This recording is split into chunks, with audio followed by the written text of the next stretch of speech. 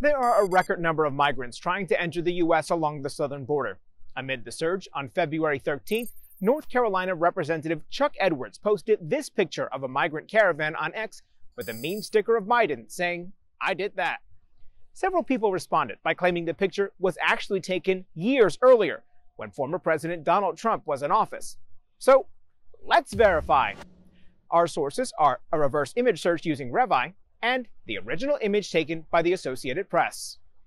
We did a reverse image search of the picture posted by Edwards and found it was originally published on October 27, 2018, which was during the Trump administration.